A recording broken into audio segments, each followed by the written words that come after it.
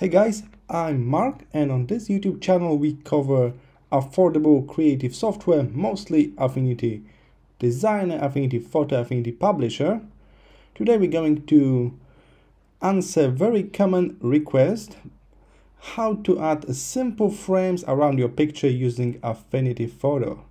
So the good part is Affinity Photo is affordable software, so it's used by both professionals but also more casual users and they very often want to just create a simple frame around and they don't want to spend hours doing that so I will address five different requests that I've been seeing on different Facebook groups, Reddit and stuff like that. So people asking how to make certain effects, how to create certain frames. All right, let's get started. Here we are in Affinity Photo. I load this little picture here. This is the original one. As you can see, I scale it down a little bit so we can see this white artboard around. And that's kind of the frame itself, you would say, but no, no, not just yet. Let's take a look. The first example here. That's the first type of frame you can very quickly apply to any image. The request is you need this empty area around. So how to add this kind of frame? That's really simple. You just need to apply layer effects. So take a look. I got this basic photo. I click FX in the layer section. At the bottom here, layer effects. You will get the pop-up window where you can turn on effects that will be applied to this layer. In our case, that's the layer with the picture. So as you can guess, outline is the is the effect we can use here. Here's the outline. We can move the slider left and right to create, to change the size of it. We can put it outside, in the center, or even inside the image. Let's keep it outside for this example. So we got this outline. We can change the color, no problem with that add a little bit of noise for texture. That's also possible here with this slider.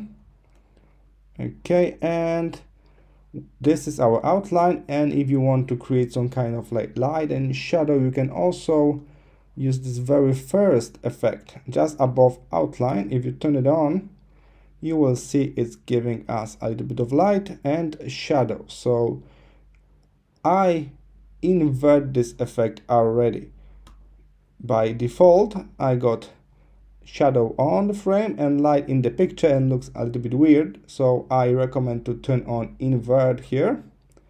And the profile will determine up the shape of this light and shadow. So we can change that to be soft or to be stiff. Can be soft like that or can be very stiff with the straight line. Of course you can change the radius that's the size of it.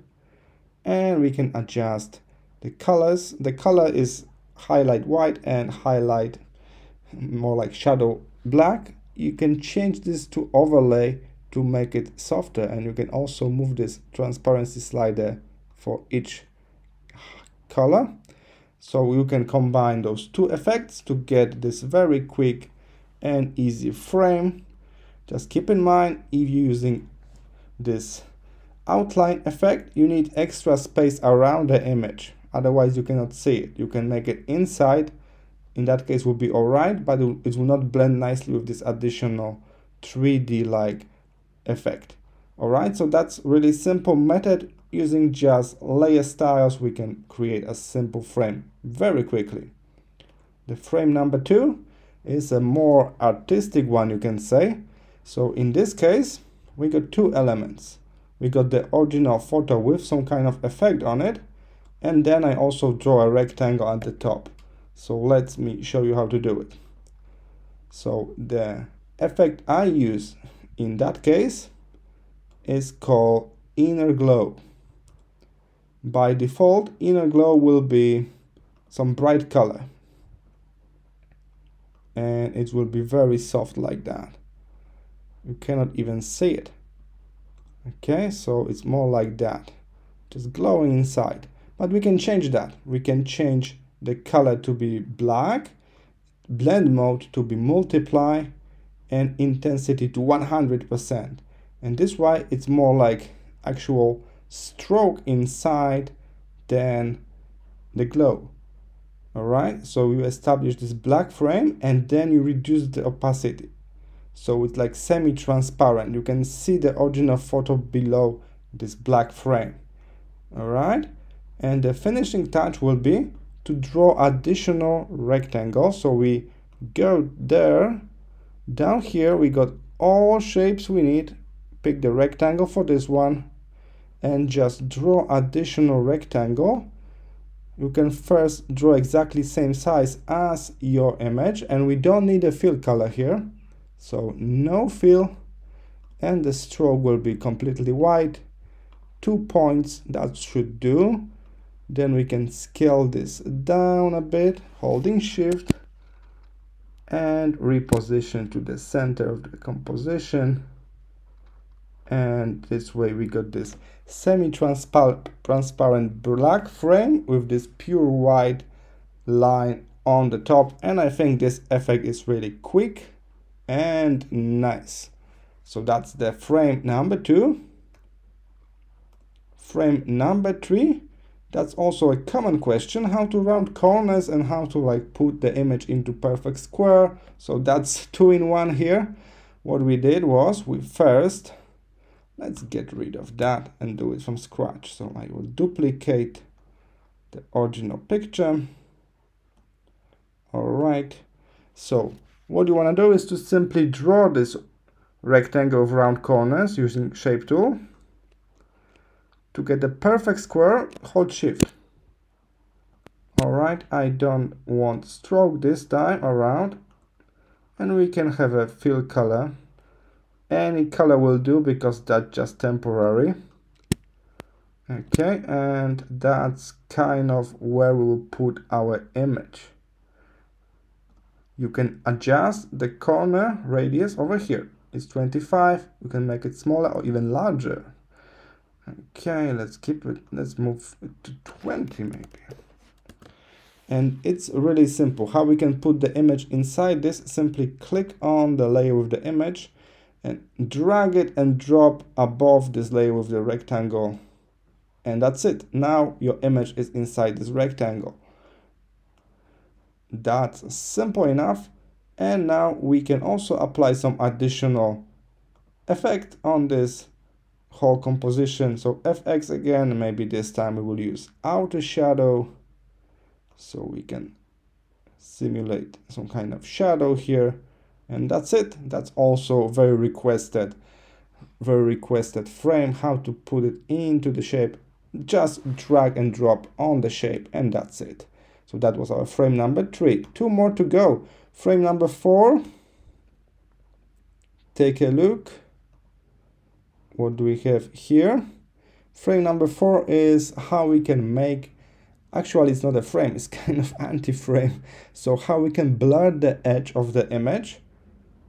So it's like the smooth transition with the background. That's i think that was the most requested one even though it's technically not a frame many people want to blur this this edge easily. And there are some like walkarounds like people giving the hints and tips but actually there's much much faster method that i'm going to show you today okay? So take a look.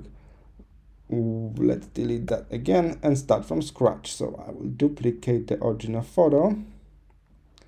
So that's the original photo. What we want to do is we depends which shape you need. If you want to just blur the edge of the image as it is i will go with rectangle. But in my case i want to put it into ellipse too. So i will go with ellipse holding shift for perfect circle. And now with this shape I'm going to blur it. So I will use live filters. You can find them here just below the layer panel. And Gaussian blur here and I can blur this shape. And you may think like oh I know what's going on. Now we just drag and drop this image inside this blur shape. And that's not exactly true. Take a look. If I do it right now I drop this inside this blur shape. The image will blur as well. So that's not what we can do right now. Before we do that we must rasterize this blur image so right click on the layer of the blur image and we will rasterize it. Rasterize. And now we can just drag and drop this on it. And that's it. And you got very nice soft blurry edge around your image. All right so that's kind of the frame that people also request and ask about. And this is i think the fastest method for that. All right just one more to go. The last frame involve those separate shapes all around our main image. And this is really simple because the shape tool is really powerful in affinity photo. So here's my image. I apply a little effect here called inner shadow. Take a look. It's give me this dark edge at the top and the left side simulating like distance from the frame. So that's nice. And a little bit of outer glow glow on this frame around. Okay so that's my effect here but now I need the frame. And to build frame like this you can simply select trapezoid shape. So again shape tool there's so many shapes take a look there's trapezoid as well. What you need to do you need to draw it all across. And what you should notice there's there are some control points in orange if you cannot see them like me right now double click. This orange control point here on the left and on the right. I can pull it but in this way I changing only one side. So you can hold command or control and you will move both sides same time. It should even snap to your image nicely like this. Then we can pick the color for the shape as well. It's editable it's vector all right let's copy this. So we can duplicate right click on the layer duplicate and we can flip it. If you cannot see the flip option in your toolbar at the top you can customize your toolbar. Right click on the toolbar customize toolbar and you can add any missing tool. So if you see any tool in my toolbar that is missing in your you can simply drag and drop them make some customization move stuff that you don't need. For example arrange. I never use that. I just arrange by moving layers. Out.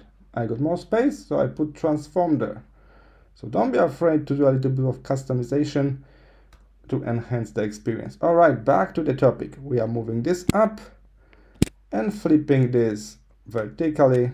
Perfect. Now again i will duplicate that. This time i will use command shortcut command c command v all right I need to make it shorter, rotate 90 degrees, and I will place it here on the right side this time. And as you can see, it's not really touching the corner here, so I will again transfer those orange points. Perfect. Maybe adjust the color a little bit. And I will now copy this, flip it, and this way we assemble the frame around the image very quickly using trapezoid shape. Alright, so here are my five easy frames that you can apply really quickly in the matter of minutes around the picture you like. So we can just use layer styles or maybe we can use a nice semi-transparent black color and then nice white line at the top, very elegant look. You can also put your image inside the shape. So you will crop it into the shape. What else can you do? You can actually blur that shape and you will end up with this very soft edge around your image. And the last option was to create trapezoid shape all around and this way you can make a custom frame adjust colors put texture or gradients on it whatever you want to do manually here. All right so here are my quick tips for easy frames. There are so many other ways you can do frames around the image. So maybe we'll make a follow-up video one day Thank you for watching and don't forget to check my other tutorials. I think we just hit like 50 tutorials for Affinity Photo recently. So check this out and I hope I will see you in the next tutorial. Bye!